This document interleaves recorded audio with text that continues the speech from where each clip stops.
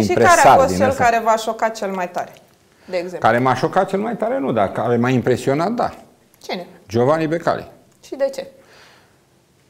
Domne, uh, pentru faptul că a reușit atâtea transferuri, unele care n-aveau niciun, uh, uh, nicio tangență cu valoarea jucătorului.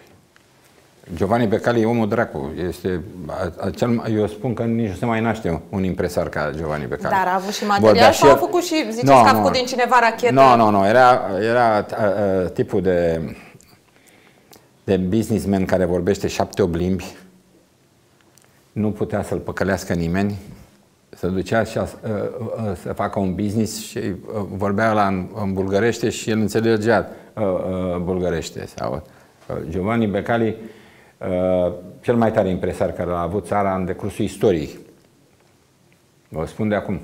El și albanezul au fost și mai tari. A murit albanezul, Dumnezeu să-l odihnească. Dar de ce considerați că meseria asta n-ar fi fost potrivită pentru băiatul dumneavoastră? Ce e chiar așa? Ești expus multor tentații și nu pot să uh, uh, dezvolt. Nu dezvolt. Nu vreau să dezvolt. și nu vreau, așa, și, nu vreau, și nu vreau ca băiatul meu să, să uh, fie tentat uh, și să, să, să pățească ceva în decursul vieții. Nu vreau. Păi, de ce să fii tentat? Că până la urmă tu este imposibil. un om, da? Domnișoară, ți-am spus, când dai timp, mă chem, fac o emisiune și uh, îți dau multe detalii. Da, ați vorbit de regretatul. Cum era? Apropo de impresari. Un gentleman.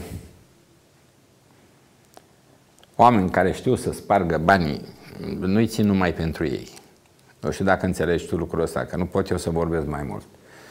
Oameni care uh, au reușit în viață, cu, asta e o meserie a dracului, să știți de la mine. Lucrez numai cu miliardari.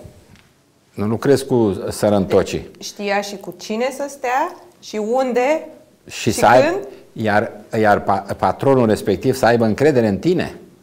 Nu în jucător. În tine. Ehe. Dar dacă ar mai de asta am spus, de asta Dan am Alban cât de puternic era? Nu știu dacă era mai tare ca Giovanni. Giovanni omul dracu. Vă spun de acum. Uh, eu l-am cunoscut el a luptat să mă dea și pe mine afară de la Ligă în două legislaturi dar ale cine mele. ne-a luptat? Da, dar cine ne-a luptat? Dar eu, eu am fost amic cu el. Și uh, l-am apreciat, să știți. Nu v-ați temut să vorbiți? Ce să lui, nu știu. Nu, domne. Chiar e... avea... Cine, Giovanni? Giovanni, dacă îi spui ceva, e mormânt. Intră cu secretul în, în mormânt. Asta sigur ai încredere în el. Și în el și în frate său, să știți. Sunt oameni, oameni trecuți prin viață și prin necazuri. Și vedeți Numai aceștia sunt oameni familie, serioși. Că până și vărul lor le-a stricat atâtea discuții și atâtea lucruri ce a dezvăluit. Domnișoare, să știți că oamenii care fac mult, multe lucruri bune mai și greșesc. Să știți. Păi e și cazul, o greșeală. E cazul și al lui Giovanni și al lui Victor. Și, a, și, a, și cazul meu, și eu am greșit în decursul vieții, să știți. Nu există om care muncește serios într-un domeniu să nu facă greșeli. Iar dacă nu faci greșeli, înseamnă că nu e sănătos la cap sau e ceva, se întâmplă